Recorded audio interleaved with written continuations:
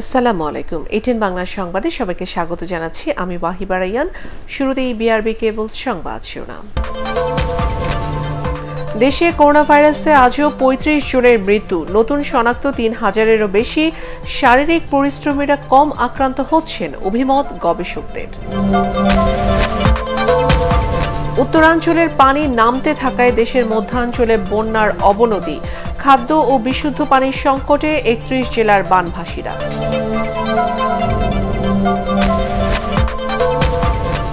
তিন সন্ত্রাসীকে আটকের পর রাজধানীর পল্লবী থানায় বিস্ফোরণ, চার পুলিশ সহ আহত পাঁচজন।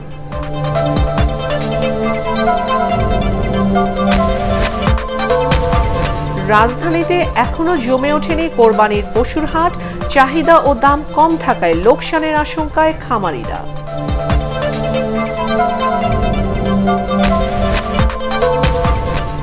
এবং আওয়ামী লীগের দলীয় তহবিল অর্ধ শত কোটি টাকা ছাড়িয়েছে নির্বাচন কমিশনে আর্থিক প্রতিবেদন জমা।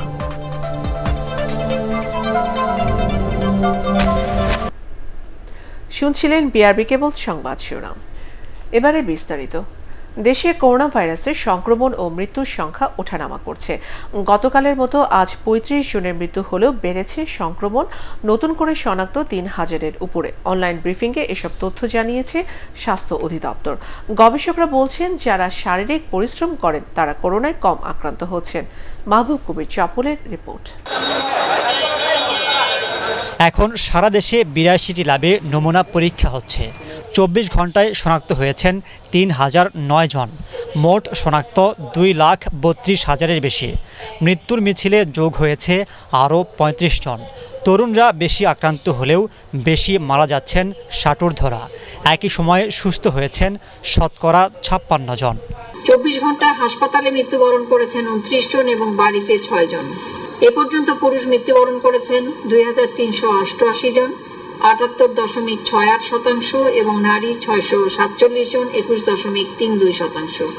আপনারা সবাই যে কোনো মৃদু উপসর্গ বা যে কোনো লক্ষণ উপসর্গ থাকলে অবশ্যই কোভিডের নমুনার জন্য নমুনা দিবেন এবং নমুনা পরীক্ষা করবেন। এবং যারা কোনো আক্রান্ত ব্যক্তির সংস্পর্শে এসেছেন, তারাও নমুনা পরীক্ষা দিবেন এবং নমুনা পরীক্ষা করবেন। একসময় বলা হয়েছিল, বাংলাদেশের আবহাওয়ায় করোনা খুব বেশি প্রভাব বিস্তার করতে পারবে না। কিন্তু এখন দেখা যাচ্ছে এই ভাইরাসের প্রকোপ দীর্ঘ হচ্ছে। গবেষকরা বলছেন, তাপমাত্রা নয়, শারীরিক অবস্থা, আক্রান্ত বা মৃত্যুর ক্ষেত্রে প্রভাব রাখছে। আগের তুলনায় মানুষ তুলনামূলকভাবে কম মারা যাচ্ছে। তার পেছনে আমরা বলতে পারি যে আমাদের সরকারি বা বেসরকারিভাবে এবং যারা সেবা দিচ্ছেন, তাদের পক্ষ থেকে এই ভাইরাসের সংক্রমণ প্রতিরোধ করার ক্ষেত্রে অথবা যারা আক্রান্ত হচ্ছে, তাদের চিকিৎসা দেওয়ার ক্ষেত্রে সক্ষমতা এবং অভিজ্ঞতা বেড়েছে। যারা তুলনামূলক কায়িক পরিশ্রম বেশি করেন, দিনমজুর, আর, ও খোলা মাঠে অথবা রাস্তাঘাটে কাজ করেন, তাদের ভেতরে কিন্তু এই করোনা সংক্রমণে সংক্রমণ যেমনই হোক, তাদের মৃত্যুর হার কিন্তু অনেক কম। এবং সম্প্রতি ভারতেও এরকম একটি গবেষণা করা হয়েছে এবং সেখানে দেখা গেছে যে মুম্বাইয়ের বস্তিগুলোতে পঞ্চাশ শতাংশের বেশি মানুষ করোনা সংক্রমিত হলেও সেখানে মৃত্যুর হার অনেক অনেক কম। পরীক্ষামূলক একুশ দিনের লকডাউনে রাজধানীর পূর্ব রাজাবাজার ও ওয়ারিতে করোনা সংক্রমণ কমেছে বলে জানানো হচ্ছে। তাই অন্য রেড জোনগুলোতে লকডাউন দ্রুত কার্যকর করার পরামর্শ দিচ্ছেন গবেষকরা। মাহবুব কবির চপল, এটিএন বাংলা, ঢাকা। এদিকে করোনা ভাইরাস ও উপসর্গে দেশের বিভিন্ন জেলায় চব্বিশ ঘন্টায় আরও অন্তত বিশ জনের মৃত্যু হয়েছে।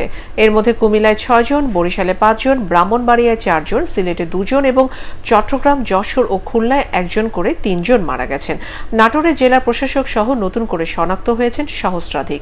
জেলা প্রতিনিধিদের পাঠানো রিপোর্ট, জানাচ্ছেন পরাকারমান করোনা ভাইরাসের হটস্পট কুমিল্লায় গত চব্বিশ ঘন্টায় আগের দিনের চেয়ে দ্বিগুণ মৃত্যু হয়েছে। জেলায় করোনা উপসর্গ নিয়ে মারা গেছে ছজন। তাদের তিনজন পুরুষ এবং তিনজন নারী। কুমিল্লায় করোনা পজিটিভ উপসর্গ নিয়ে মারা গেছে মোট একশো একচল্লিশ জন। বরিশাল বিভাগে করোনায় আক্রান্ত হয়ে পাঁচজন মারা গেছে। এদের দুজন বরিশাল এবং পটুয়াখালী, পিরোজপুর ও ভোলায় একজন করে। এছাড়া বরিশাল বিভাগের ছয় জেলায় নার্স ও র্যাব সদস্য সহ নতুন আক্রান্ত আশি জন। ব্রাহ্মণবাড়িয়ায় একদিনে আরও চারজনের মৃত্যু হয়েছে করোনায়। এ নিয়ে জেলায় করোনা আক্রান্ত হয়ে মারা গেল ৩৫ জন। এছাড়া নতুন আরও চল্লিশ জন করোনা আক্রান্ত হয়েছে। সিলেটে আরও দুজন মারা গেছে। এ নিয়ে করোনায় সিলেটে মোট মৃতের সংখ্যা দাঁড়াল দুশো একত্রিশ। করোনায় মারা গেছেন চট্টগ্রাম বিশ্ববিদ্যালয়ের উপাচার্য প্রফেসর ডক্টর শিরিন আক্তারের স্বামী, মুক্তিযোদ্ধা মেজর অবসরপ্রাপ্ত লতিফুল আলম চৌধুরী। তার মৃত্যুতে শোক জানিয়েছেন প্রধানমন্ত্রী শেখ হাসিনা। বগুড়ায় আরও একজন করোনা আক্রান্ত হয়ে মারা গেছে। এ নিয়ে জেলায় একশো দুজন মারা গেল করোনায়। দুশো পনেরোটি নমুনা পরীক্ষার করোনা শনাক্ত হয়েছে একষট্টি জন। খুলনা মেডিকেল কলেজ হাসপাতালে করোনা উপসর্গ নিয়ে যশোরের এক ব্যক্তি মৃত্যু হয়েছে। আটশো পনেরো জনের নমুনা পরীক্ষায় জেলায় আরও দুশো পঁয়ষট্টি জন করোনা শনাক্ত হয়েছে। এদিকে রংপুরে গত চব্বিশ ঘন্টায় একশো আটাশি জনের নমুনা পরীক্ষা করে পুলিশ, ডাক্তার ও ব্যাংকার সহ বিভিন্ন পেশার আরও তিপ্পান্ন জন করোনা পজিটিভ। নাটোরে জেলা প্রশাসক, সিভিল সার্জন ও অতিরিক্ত পুলিশ সুপার সহ তিরিশ জন আক্রান্ত হয়েছেন করোনায়। এছাড়া নোয়াখালীতে একত্রিশ জন, শেরপুর জেলা আইনজীবী সমিতির সভাপতি সহ নজন এবং নেত্রকোনায় উপজেলা শিক্ষা অফিসার করোনায় আক্রান্ত হয়েছেন। পরাগারমান, এটিএন বাংলা। হ্যান্ড স্যানিটাইজার জীবাণুনাশক স্প্রে সহ এ ধরনের দাহ্য পণ্যের গায়ে সতর্কতামূলক নির্দেশনা যুক্ত করার নির্দেশ দিয়েছে হাইকোর্ট। এ ব্যাপারে দুই সপ্তাহের মধ্যে প্রয়োজনীয় ব্যবস্থা নিতে স্বাস্থ্য, ওষুধ প্রশাসন এবং জাতীয় ভোক্তা অধিকার সংরক্ষণ অধিদপ্তরকে বলা হয়েছে। এক রিটের প্রাথমিক শুনানি শেষে বিচারপতি তারিকুল হাকিমের ভার্চুয়াল হাইকোর্ট বেঞ্চ এই আদেশ দেন। এর আগে নিজ বাসায় হ্যান্ড স্যানিটাইজারের কারণে অগ্নিদগ্ধ হয়ে গত আঠাশ জুলাই মারা যান বঙ্গবন্ধু শেখ মুজিব মেডিকেলের নিউরোসার্জন ডাক্তার রাজীব ভট্টাচার্য। মহামান্য আদালত, স্বাস্থ্য অধিদপ্তর, ওষুধ প্রশাসন অধিদপ্তর এবং ভোক্তা অধিকার সংরক্ষণ অধিদপ্তরের তিন অধিদপ্তরের মহামান্য ডিজি মহোদয়ের উপরে নির্দেশনা দিয়েছেন যাতে হ্যান্ড স্যানিটাইজার জাতীয় পদার্থের গায়ে, বোতলের লেভেলে সতর্কতামূলক বিজ্ঞপ্তি প্রচার করা হয় যে এগুলো দাহ্য পদার্থ মুজিব বর্ষকে স্মরণীয় করে রাখতে ক্লাইমেট ভালনারেবল ফোরাম সিভিএফ এর পরবর্তী সম্মেলন দুহাজার একুশ সালে অনুষ্ঠিত হবে। প্রধানমন্ত্রী শেখ হাসিনাকে টেলিফোনে একথা জানান জাতিসংঘের সাবেক মহাসচিব এবং গ্লোবাল সেন্টার অন অ্যাডাপ্টেশনের চেয়ার বাংকি মুন প্রায় বারো মিনিটের এ কথোপকথনে global centre on adaptation conference নিয়েও কথা বলেন তারা। সেপ্টেম্বরের দ্বিতীয় সপ্তাহে অনুষ্ঠিত হবে এই কনফারেন্স, যা উদ্বোধন করবেন প্রধানমন্ত্রী শেখ হাসিনা। সিভিএফ এর থিমেটিক অ্যাম্বাসেডর হওয়ায় সাইমা ওয়াজেদ হোসেনকেও অভিনন্দন জানান বাংকিমুন বাংলাদেশ সহ জলবায়ু পরিবর্তনে ক্ষতিগ্রস্ত আটচল্লিশ দেশ নিয়ে এ ফোরাম গঠিত। উত্তরাঞ্চল থেকে পানি নামতে থাকায় দেশের মধ্যাঞ্চলের বন্যা পরিস্থিতির অবনতি হয়েছে। সেই সাথে অনেক জেলায় দেখা দিয়েছে তীব্র নদী ভাঙ্গন বসতবাড়ি ও ফসলি জমি হারিয়ে রাতারাতি নিঃস্ব হচ্ছেন অসংখ্য মানুষ। বন্যা কবলিত একত্রিশ জেলায় কয়েক লাখ মানুষ রয়েছে খাবার আর বিশুদ্ধ পানির সংকটে। প্রতিনিধিদের পাঠানো তথ্য ও ছবি নিয়ে রিপোর্ট করছেন মইনুল হাসান। জামালপুরের ইসলামপুরের শতবর্ষী নাদের আলী সহ পরিবারের সাত সদস্য গত এক মাস ধরে পানিবন্দী। আয় রোজগার বন্ধ থাকায় খেয়ে না খেয়ে দিন কাটছে তাদের। প্রায় একই অবস্থা এই জেলার প্রায় দশ লাখ মানুষের। সেখানে বন্যার পানি কিছুটা কমলেও খাবারের অভাবের সাথে দেখা দিয়েছে নানা রোগ বালাই বন্যায় পানি ভাসতে আসছি আমার হাতে পায়ে ঘাওয়া হয়ে গেছে গা। সরকারে তো দেই। জানা সিরাজগঞ্জে সার্বিক বন্যা পরিস্থিতির তেমন উন্নতি না হওয়ায় প্রায় তিন লাখ মানুষ এক মাসেরও বেশি সময় ধরে পানিবন্দী। ভুক্তভোগীরা বলছেন এই অবস্থায় কিছু ত্রাণ সহায়তা পেলেও তা দিয়ে প্রয়োজন মিটছে না। টাঙ্গাইলের সদর উপজেলায় পানির তীব্র স্রোতে পংলি নদীর বাঁধের কিছু অংশ ভেঙে কয়েকটি গ্রাম প্লাবিত হয়েছে। জেলায় পানিবন্দী প্রায় ছয় লাখ মানুষ। নাটোরের সিংড়া ও নলডাঙ্গায় বানভাসী মানুষের দুর্ভোগ চরমে পৌঁছেছে। সিংড়া পৌর এলাকাসহ এগারোটি ইউনিয়নে বন্যা কবলিত মানুষ এখনও বাড়িঘরে ফিরতে পারছে না। অন্যদিকে চাঁদপুর কলকরি বন্যা নিয়ন্ত্রণ বাঁধ ভেঙে যাওয়ায় উপজেলায় পঞ্চাশ হাজার মানুষ পানিবন্দী হয়ে পড়েছে। শেরপুরের তেরোটি ইউনিয়নে পানিবন্দী লক্ষাধিক মানুষ খাবার, বিশুদ্ধ পানির তীব্র সংকটে দিন কাটাচ্ছে। রাজবাড়িতে দৌলদিয়া পাটুরিয়া নৌ রুটে তীব্র স্রোতে ফেরি চলাচল ব্যাহত হচ্ছে। পারাপাড়ার অপেক্ষায় আছে কয়েকশো যানবাহন। এদিকে পদ্মা ও আরিয়ালখা নদীর পানি বৃদ্ধির সাথে সাথে তীব্র স্রোতে মাদারীপুরের শিবচরের বিভিন্ন এলাকায় নদী ভাঙন তীব্র আকার ধারণ করেছে। শরীয়তপুরের বন্যা পরিস্থিতির অবনতি হওয়ায় প্লাবিত হচ্ছে নতুন নতুন এলাকা। বেশ কয়েকটি স্থানে পানি উঠে যাওয়ায় ক্ষতিগ্রস্ত হয়েছে সড়ক। নদিয়া উপজেলায় নদী গর্ভে বিলীন হয়ে গেছে বসাকের চর সরকারি প্রাথমিক বিদ্যালয় ভবন। নদ নদীর পানি কমতে থাকায় কিছুটা স্বস্তির খবর রয়েছে কুড়িগ্রামের বন্যা পরিস্থিতি নিয়ে। তবে এখনও বাড়িঘর থেকে পানি না নামায় দুর্ভোগে রয়েছে সাড়ে চার লাখ মানুষ। নেত্রকোনায় বন্যা পরিস্থিতি স্থিতিশীল রয়েছে। কাজকর্ম না থাকায় এখানে চার লাখ মানুষের সামনে এখন বড় সমস্যা হয়ে দেখা দিয়েছে দুবেলা খাবার জোগানো। মইনুল হাসান, এটিএন বাংলা। রাজধানীর পল্লবী থানায় বিস্ফোরণের ঘটনায় চার পুলিশ সহ পাঁচজন আহত হয়েছে। তবে এ ঘটনার সাথে জঙ্গি সংশ্লিষ্টতা নেই বলে জানিয়েছেন ডিএমপির অতিরিক্ত পুলিশ কমিশনার কৃষ্ণপদ রায়। ভোরে অভিযান চালিয়ে তিন সন্ত্রাসীকে গ্রেফতার করা হয়। তাদের কাছ থেকে উদ্ধার হওয়া ডিজিটাল ওজন মাপার মেশিন থেকেই এই বিস্ফোরণ ঘটে বলে জানায় পুলিশ। মনির হোসেন তপুর রিপোর্ট। পুলিশের কাছে তথ্য ছিল, একটি চক্র সন্ত্রাসী কর্মকাণ্ডের জন্য কালশি কবরস্থানে অবস্থান করছিল। সেখানে রাত দুইটার দিকে অভিযান চালিয়ে দুইটি আগ্নেয়াস্ত্র ও চার রান গুলিসহ তিনজনকে আটক করা হয়। এ সময় তাদের কাছে একটি ডিজিটাল ওজন মাপার যন্ত্র পাওয়া যায়। এই যন্ত্রটি নিয়ে পুলিশের সন্দেহ হলে তাৎক্ষণিকভাবে খবর দেওয়া হয় বোম ডিসপোজাল ইউনিটকে। পল্লবী থানার পুলিশ অপারেশনের রুমে পরীক্ষা নিরীক্ষা করে দেখার সময় ভোর ছয়টার দিকে বিস্ফোরণ হয় যন্ত্রটি।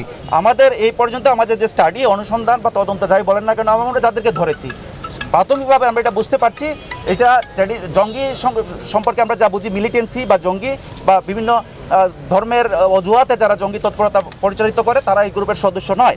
তারা কোনো না কোনো ক্রিমিনাল গ্রুপের সদস্য। ঘটনাস্থলেই চার পুলিশ সদস্য সহ অফিস সহকারী আহত হয়। পরে ঢাকা মেডিকেলে দুইজনকে এবং চক্ষু হাসপাতালে একজনকে ভর্তি করা হয়। তাদের হাতে পায়ে ও চোখে আঘাত লেগেছে বলে জানিয়েছে চিকিৎসকরা। এই সময় প্রাথমিক চিকিৎসা দিয়ে ছেড়ে দেওয়া হয় অন্য দুই পুলিশ সদস্যকে। আমাদের সকল ইউনিটই এটা কোত্থেকে আসলো কী উদ্দেশ্যে আসলো কেন ব্যবহৃত হইতে কী কাজে ব্যবহৃত হইতে পারে সেই ব্যাপারে কাজ করছে এবং যে তিনজন ধরা পড়েছে তাদেরকে জিজ্ঞাসাবাদ অব্যাহত আছে এবং তাদের পিছনে আরও কারা সহযোগী ছিল সেই ব্যাপারে আমরা কাজ করছি।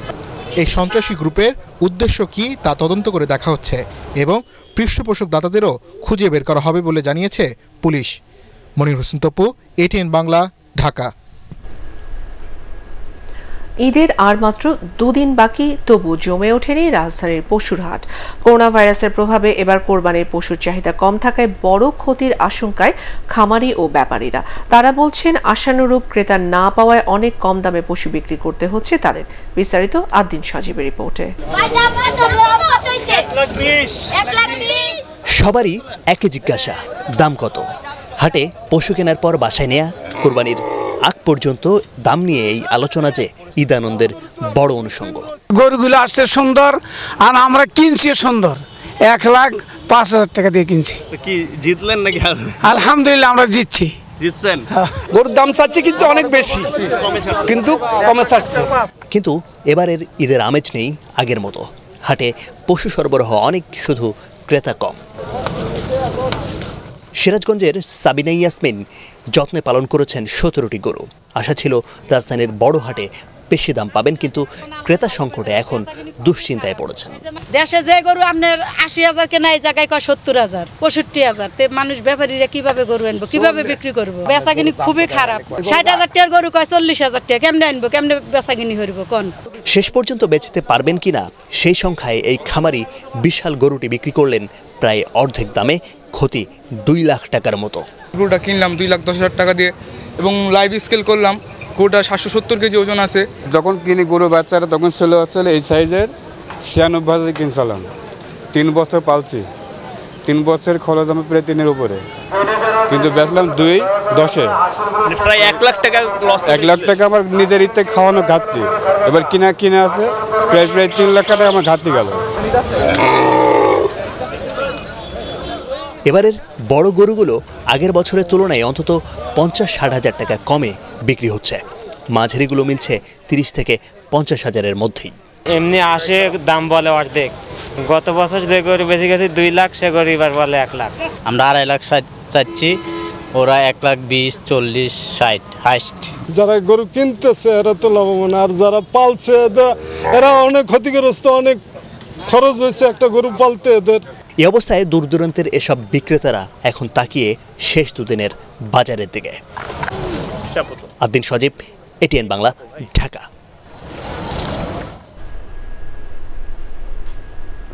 রাজধানী মোহাম্মদপুর টাউন হল মার্কেটের বিপরীতে উত্তর সিটি কর্পোরেশনের প্রস্তাবিত পার্কের ভেতরে বসানো হয়েছে অনুমোদনহীন ছাগলের হাট। ক্রেতাদের নজর কাটতে এরই মধ্যে ভেঙে ফেলা হয়েছে টিনের বেষ্টনী। ইজারা না নেওয়া হলেও ক্রেতাদের কাছ থেকে নেওয়া হচ্ছে হাসিল। এ সময় এটিএন বাংলার ক্যামেরা দেখে হাসিল তোলার কাজে নিয়োজিত ব্যক্তিরা পালিয়ে যায়। এর বিরুদ্ধে দ্রুত ব্যবস্থা নেওয়া হবে বলে জানিয়েছে প্রশাসন। একত্রিশ নং ওয়ার্ড শ্রমিক লীগের সভাপতি আছেন আনোয়ার ভাই। হ্যাঁ উনি হয়েছেন এখানে প্রধান না এলাকায় যেন কোনো বিশৃঙ্খলা সৃষ্টি না হয় এর জন্য উনি এখানে একটা জায়গা করে দিয়েছেন। তাই যে আপনাদের এটা গোছানোর যে একটা কষ্ট হয়তো সেটা মানে হয় অল্প হাজারে বিশ টাকা। হাসিল হাজারে পঞ্চাশ টাকা নেই। এখানে টাকা তুলছিলেন কেন টাকা আমি তুলি নাই টাকা ওই যে ওনাদের ওনাদের উনিশ দশমিক তিন ভাগ আভ্যন্তরীণ ঋণ প্রবৃদ্ধির লক্ষ্যমাত্রা ধরে দু হাজার বিশ একুশ অর্থ বছরের মুদ্রানীতির প্রকাশ বাংলাদেশ ব্যাংক। সরকারি ঋণ চুয়াল্লিশ দশমিক চার ভাগ এবং বেসরকারি খাতে ঋণের হার নির্ধারণ করা হয়েছে চোদ্দ দশমিক আট ভাগ। বাংলাদেশ ব্যাংকের ওয়েবসাইটে প্রকাশিত মুদ্রানীতিতে করোনা মহামারীতে রপ্তানি আয় ও রেমিটেন্সের নেতিবাচক প্রভাবের আশঙ্কা করা হয়েছে। লিখিত বক্তব্যে চলতি অর্থ বছরের মুদ্রানীতিকে সম্প্রসারণমুখী উল্লেখ করে গভর্নর জানান, মুদ্রানীতির মূল কাজ হল মূল্যস্ফীতিকে নিয়ন্ত্রণে রেখে অর্থনৈতিক কর্মকাণ্ড স্বাভাবিক রাখা। করোনা ও বন্যার ক্ষয়ক্ষতি ও ঝুঁকি মোকাবেলায় বাংলাদেশ ব্যাংক প্রয়োজনীয় কর্মসূচি গ্রহণ করবে বলেও জানান তিনি। আওয়ামী লীগের দলীয় তহবিল অর্ধশত কোটি টাকা ছাড়িয়েছে। নির্বাচন কমিশনে জমা দেওয়া আর্থিক প্রতিবেদনে দেখা যায়, আগের চেয়ে ক্ষমতাসীন দলের তহবিল বেড়েছে পঁয়ত্রিশ শতাংশ। এদিকে কমিটিতে তেত্রিশ শতাংশ নারী পদ পূরণ করতে আরও পাঁচ বছর সময় বাড়ানোর প্রস্তাব করেছে তারা। বিস্তারিত একরামুল হক সায়েমের রিপোর্টে। টানা ছয় বছর ধরে আওয়ামী লীগের আয় বাড়লেও গত অর্থ বছরে তা কিছুটা কমেছে। দু হাজার উনিশ বিশ অর্থ বছরে আয় হয়েছে একুশ কোটি দু লাখ টাকা। আগের বছরে যা ছিল চব্বিশ কোটি তেইশ লাখের বেশি। ব্যয়ও হয়েছে গতবারের চেয়ে কম। আগের বার প্রায় উনিশ কোটি টাকা খরচ হলেও গেল বছর সেই অঙ্ক আট কোটি একুশ লাখ টাকা। আর এবারের উদ্বৃত্ত যোগ হয়ে মোট তহবিলের পরিমাণ ছাড়িয়েছে অর্ধশত কোটি টাকা। সবচেয়ে বেশি আয় হয়েছে মনোনয়ন ফর্ম বিক্রি থেকে আর বেশি ব্যয় হয়েছে জাতীয় সম্মেলন ঘিরে। সংসদ সদস্য, সংগৃহীত মহিলা আসন। সহ বিভিন্ন নমিনেশন ফর্ম বিক্রি করে আমাদের আসছে বারো কোটি বত্রিশ লক্ষ তিরিশ হাজার টাকা। বুধবার আওয়ামী লীগের প্রতিনিধি দল নির্বাচন কমিশনে দলের আর্থিক প্রতিবেদন জমা দেন। এ সময় রাজনৈতিক দল নিবন্ধন আইনের খসড়া নিয়ে দলের লিখিত মতামতও জমা দেন তারা। এতে দু হাজার বিশ সালের মধ্যে দলের কমিটিতে নারী পদ রাখার যে বিধান তার সময়সীমা বাড়ানোর সুপারিশ করা হয়। প্রধানমন্ত্রী বারবার বলেছেন যে আমাদের থার্টি পার্সেন্ট যে ওমেন যে সদস্য থাকার কথা এখানে এবছর বেড়িয়েছে কারণ বাড়াবের দলের সঙ্গে আমরা ফিফটি পার্সেন্ট করতে পারি। তিরিশ পার্সেন্ট থেকে ফিফটি পার্সেন্টে যেতে পারে। কিন্তু এটার মধ্যে আমাদের ফাইনাল একটা মতামত দিয়েছে নেত্রী। যে সমস্ত মতামত পাবো সেগুলো কম্পাইলেশন করে আমরা এটা কমিশনে উপস্থাপন করব। এরপর মাননীয় কমিশন এটা পর্যালোচনা করবেন। হয়তো এক বা একাধিক বৈঠকে বসবেন। তারা ওখানে যে সিদ্ধান্তগুলো নেবেন, সেই সিদ্ধান্তের পরে এই রাজনৈতিক দলের ড্রাফট ফাইনাল করা হবে। নির্বাচন কমিশন সচিব জানান, নিবন্ধিত একচল্লিশটি রাজনৈতিক দলের মধ্যে ষোলোটি আইনের খসড়া নিয়ে মতামত জানিয়েছে। মতামত দেওয়ার সময় শেষ হবে একত্রিশ জুলাই। ইকরামুল হক, সায়েম, এটিএন বাংলা, ঢাকা। ঈদ যাত্রা নির্বিঘ্ন করতে বৃষ্টির কারণে ক্ষতিগ্রস্ত সড়ক দ্রুত মেরামতের নির্দেশ দিয়েছেন সড়ক পরিবহন ও সেতু মন্ত্রী ওবায়দুল কাদের। রাজধানীর সরকারি বাসভবন থেকে চট্টগ্রাম সড়ক ও জনপথ অধিদপ্তর কর্মকর্তাদের সাথে ভিডিও কনফারেন্সে তিনি এ নির্দেশ দেন। দুর্নীতি থেকে বেরিয়ে না আসলে বিআরটিসির পরিবহন সেবা টিকিয়ে রাখা কঠিন হবে উল্লেখ করে মন্ত্রী আরও বলেন, প্রতিষ্ঠানটির অনিয়মে জড়িত কাউকেই ছাড় দেওয়া হবে না। সড়কে শৃঙ্খলা ফিরে না আসায় ক্ষোভ প্রকাশ করেন সেতুমন্ত্রী বিআরটিসি নানান অনিয়মের অভিযোগ আমার কাছে আছে। দুর্নীতি আর অনিয়মের বৃত্ত থেকে বেরিয়ে না আসলে এ প্রতিষ্ঠান টেকানো কঠিন হবে। আমি ডিপো ক্যান্ডিক অনিয়ম বন্ধের কথা বলছি। সতর্ক না হলে, সংশোধন না হলে আমি কাউকে ছাড় দেব না। করোনায় আক্রান্ত মানুষের পাশে না দাঁড়িয়ে বিএনপি ঘরে বসে কেবল সরকারের সমালোচনা করছে বলে মন্তব্য করেছেন তথ্যমন্ত্রী ডক্টর হাসান মাহমুদ। যশোর সার্কিট হাউসে সাংবাদিকদের মধ্যে আর্থিক সহায়তার চেক বিতরণ অনুষ্ঠানে তিনি এ অভিযোগ করেন। তথ্যমন্ত্রী জানান, করোনায় আক্রান্ত হয়ে দলের অনেক কেন্দ্রীয় নেতা মারা গেলেও অন্যরা ঘরে বসে নেই। ভাইরাস সংক্রমণ রোধে যতটুকু করা সম্ভব সরকার তার সবটাই করছে বলেও জানান তিনি। শুরু থেকেই বাংলাদেশের মানুষকে করোনা থেকে যতটুকু রক্ষা করা সম্ভব, সেটি করার চেষ্টা করে এসেছেন। বিএনপির নেতারা টেলিভিশনে উকি দিয়ে দিয়ে কথা বলে, জনগণের পাশে নেই। এবং মাননীয় প্রধানমন্ত্রী, সফলভাবে নেতৃত্ব দেওয়ার কারণে বাংলাদেশে করোনায় আক্রান্তদের মধ্যে মৃত্যুর হার পৃথিবীতে সর্বনিম্ন যে কয়টি দেশে, তার মধ্যে বাংলাদেশে। ভারত পাকিস্তানের চেয়েও মৃত্যুর হার কম। দেশের মত প্রকাশের স্বাধীনতা নেই বলে মন্তব্য করে বিএনপি সিনিয়র যুগ্ম মহাসচিব রুহুল কবির রিজভি বলেছেন, মামলা ও নির্যাতনের মাধ্যমে সরকার বিএনপিকে ধ্বংস করার চেষ্টা করছে। মৎস্যজীবী দলের উদ্যোগে মুন্সীগঞ্জের আড়িয়াল খাবিলে মাছের পোনা অবমুক্ত করতে গিয়ে তিনি একথা বলেন। বিএনপি গণতন্ত্র পুনরুজ্জীবনের গণতন্ত্র ফিরিয়ে আনার আন্দোলন করে। কারণ এটি আজকে কেড়ে নিয়েছে। আজকে আপনারা যদি মত প্রকাশের জন্য কোথাও ফেসবুকে কিছু লেখেন, দিনে রাতে যে কোনো সময় সাদা পোশাকধারীরা আপনাদেরকে তুলে নিয়ে যাবে। আমরা এই জন্য আন্দোলন করছি। আজকে ভোটের অধিকার নেই। আচ্ছা কথা বলার অধিকার নেই। পার্টির চেয়ারম্যান জি এম কাদেরের সাংগঠনিক নির্দেশে মহাসচিব পদে নিয়োগ পেয়েছেন বলে জানিয়েছেন জাতীয় পার্টির নতুন মহাসচিব জিয়াউদ্দিন বাবলু। রাজধানীর কাকরাইলে জাপা কার্যালয়ে দলের প্রতিষ্ঠাতা এইচ এম এরশাদের প্রতিকৃতিতে শ্রদ্ধা জানিয়ে তিনি একথা বলেন। রাজনীতির স্বার্থে সবাইকে সাথে নিয়ে ঐক্যবদ্ধ হয়ে কাজ করে যাওয়ার ঘোষণা দেন নতুন এই মহাসচিব। এই সময় জিয়াউদ্দিন বাবলুকে ফুল দিয়ে শ্রদ্ধা জানান দলীয় নেতাকর্মীরা। কাউন্সিলর এই ক্ষমতা দিয়েছেন এবং গণতন্ত্র এই ক্ষমতা দিয়ে আছে। আপনি ঘটনার কথা বুঝতে পারেন, আপনি সারা দেশের নেতা, কর্মী, সংগঠন যারা আমাদের প্রাণ, তাদের কথা তাদের কথা তো আসো। নির্বাচনের মাধ্যমে তাকে ক্ষমতা দিয়েছেন। এবং সেই রায় অনুযায়ী উনি উনি এই- মহাসচিব পাল্টানোর সিদ্ধান্ত নিয়েছেন।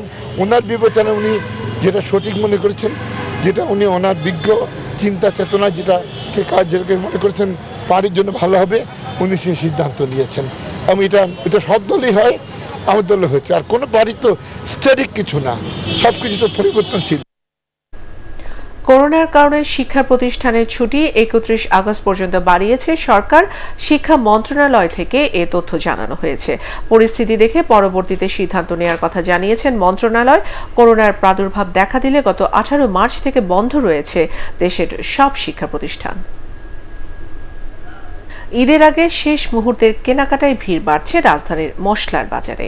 করোনা মহামারীতে চাহিদা কমলেও আমদানি কমের অজুহাতে চড়া এলাচ আর জিরার দাম। মান ও প্রকারভেদে খুচরা বাজারে কেজি প্রতি এলাচ কিনতে হচ্ছে সাড়ে তিন হাজার টাকায়, যদিও পাইকারি ব্যবসায়ীদের দাবি এবার শতকরা বিশ ভাগ কমেছে মশলার দাম। শারফুল আলমের রিপোর্ট। ঈদে রান্না হবে মুখরোচক বাহারি সব খাবার। এ সময় মাংস রান্নার অন্যতম অনুষঙ্গ, মশলার চাহিদা বেড়ে যায় কয়েক গুণ। বছরে যে পরিমাণ মশলা ব্যবহার করা হয়, তার চার ভাগের এক ভাগেই বিক্রি হয় কোরবানির ঈদে। রাজধানীর মশলার আড়ত, মৌলভীবাজারে কেজি প্রতি জিরা দুইশো সত্তর থেকে তিনশো চল্লিশ, দারুচিনি দুইশো আশি থেকে তিনশো পঞ্চাশ, লবঙ্গ ছয়শো ষাট থেকে সাতশো, এলাচ আড়াই হাজার টাকা থেকে দুই হাজার সাতশো, গোলমরিচ তিনশো ষাট থেকে পাঁচশো আশি টাকা দরে বিক্রি হলেও হাত বদলে খুচরা বাজারে এসব মশলার দাম বেড়ে যাচ্ছে। এলাচের দাম তো বেশ। একদম যা দরকার তার থেকে এক দশমাংশ নিয়ে কাজ চালানোর ব্যবস্থা। বড়টা ছিল পাঁচচল্লিশ হাজার চার হাজার পঁয়ত্রিশশো এমন। পাইকারি গরম মশলা ব্যবসায়ী সমিতির তথ্য অনুযায়ী, দেশে বছরে পঞ্চান্ন হাজার মেট্রিক টন জিরা, এলাচ, লবঙ্গ, দারুচিনি, গোলমরিচ ও কিশমিশের চাহিদা রয়েছে, যা আমদানি নির্ভর। কম বিক্রি হওয়ায় খুচরা পর্যায়ে কিছু মশলার দাম বেশি স্বীকার করে ব্যবসায়ী নেতাদের দাবি, এবার তারা মশলার দাম পাচ্ছেন না। যারা খুচরা বিক্রি করে, তারা পরিমাণ অনেক কম বিক্রি করে। তারা অল্প বিক্রি করে, একটু বেশি মুনাফা লাভ করে তারা সংসারটা চালায়। এটাও একটা কারণ। আর আমরা যারা হোলসেলে বিক্রি করি, আমাদের তো পরিমাণটা ভলিউমটা অনেক বেশি হয়। দু তিন মাসের ভিতরে মশলার বাজার আনুমানিক আপনার টোয়েন্টি পার্সেন্টের মতো কমে গেছে। করোনার কারণে বিশ্ববাজারে কোনো সেলার নাই। এবং আমাদের এখানে কোনো সেলার নাই। করোনার মন্দায় আয় কমে যাওয়ায় মশলার চাহিদা কমেছে বলে মনে করেন বিক্রেতারা। তবে অন্যান্য বছরের তুলনায় এবার পেঁয়াজ আদা ও রসুনের বাজার সহনীয় পর্যায়ে রয়েছে বলে জানান অনেকেই। শরফুল আলম এটিএন বাংলা ঢাকা। এবারে আলারাফা ইসলামী ব্যাংক অর্থ সংবাদ।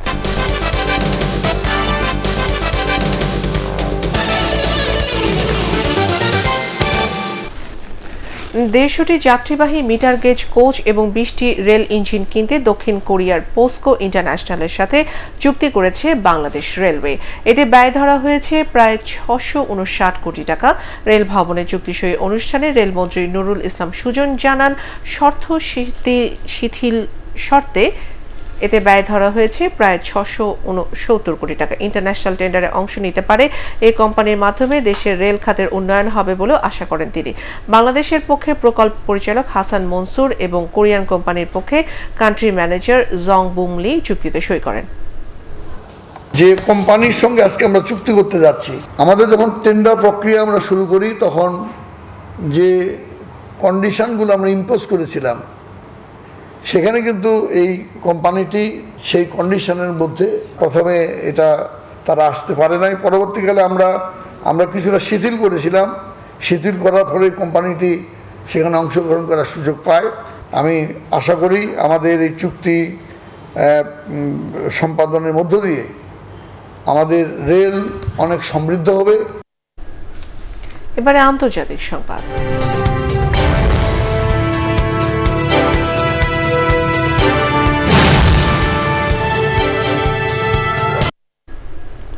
আগামীকাল পবিত্র হজ। মুসল্লিরা এখন মিনায় অবস্থান করছেন, সেখানে পাঁচ ওয়াক্ত নামাজ আদায় করবেন তারা।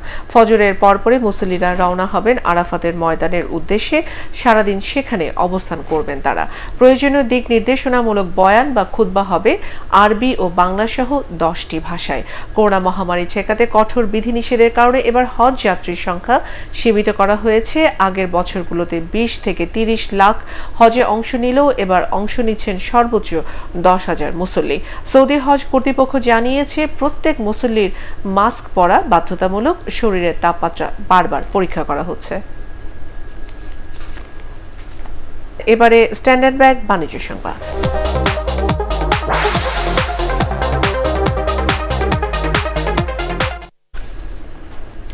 সরিয়া ভিত্তিক আধুনিক ব্যাংকিং সেবা দেওয়ার প্রতিশ্রুতি নিয়ে মুন্সীগঞ্জের টঙ্গিবাড়ি বাজারে চালু হলো ফার্স্ট সিকিউরিটি ইসলামী ব্যাংকের উপশাখা।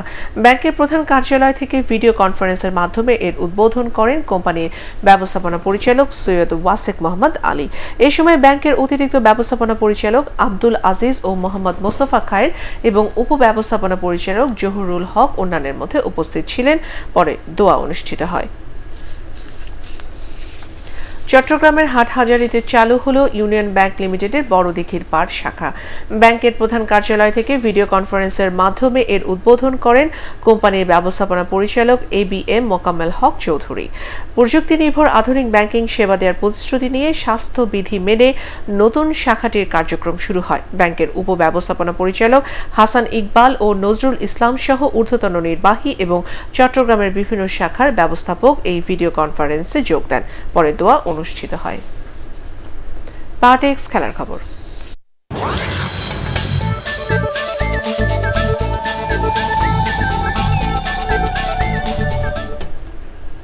প্রথমবারের মতো আয়োজিত লঙ্কা প্রিমিয়ার লিগ খেলতে আগ্রহ প্রকাশ করেছেন বাংলাদেশের পাঁচ ক্রিকেটার। শ্রীলঙ্কান ক্রিকেট বোর্ড এর খবর নিশ্চিত করলেও তাদের নাম প্রকাশ করা হয়নি। করোনার ধাক্কা কাটিয়ে সব দেশই এখন ক্রিকেটকে মাঠে ফেরাতে ব্যস্ত। বিশ্বকাপ স্থগিত হওয়া এবং আন্তর্জাতিক কোনো টুর্নামেন্ট না থাকায় অনেক দেশ নিজেদের ঘরোয়া টুর্নামেন্ট দিয়ে ক্রিকেটকে ফেরানোর পরিকল্পনা করছে। সে লক্ষ্যে শ্রীলঙ্কাও তাদের ফ্র্যাঞ্চাইজি লিগ আয়োজন করছে। আগামী আঠাশ আগস্ট শুরু হবে, বাইশ দিনের এলপিএল ফাইনাল হবে বিশ সেপ্টেম্বর। শেষ করার আগে বিআরবি কেবল সংবাদ, শিরোনাম আরেকবার।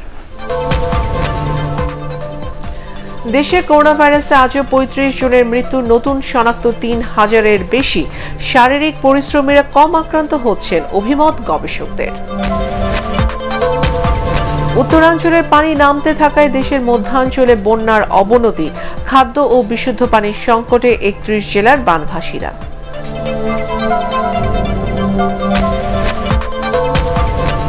তিন সন্ত্রাসীকে আটকের পর রাজধানীর পল্লবী থানায় বিস্ফোরণ, চাল, পুলিশ সহ আহত পাঁচজন।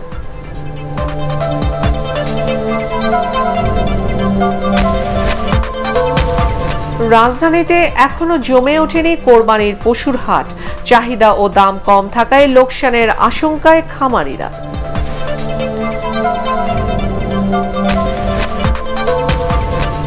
এবং আওয়ামী লীগের দলীয় তহবিল অর্ধ শত কোটি টাকা ছাড়িয়েছে। নির্বাচন কমিশনে আর্থিক প্রতিবেদন জমা।